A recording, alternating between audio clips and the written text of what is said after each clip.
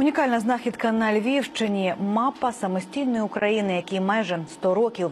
За словами картографів, вони вперше отримали документ з кордонами Української Народної Республіки. Мапу знайшов місцевий мешканець. Тепер документ в музеї.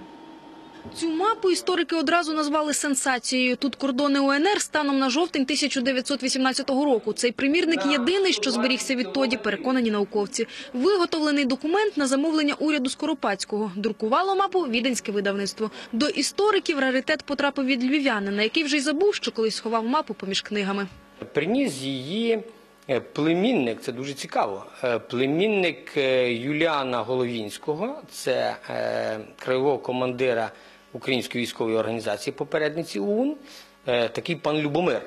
А йому відповідно передав його е, колега з Івано-Франківська. Той, як він розповідав на прес-конференції, у 84-му році її купив на барахолці.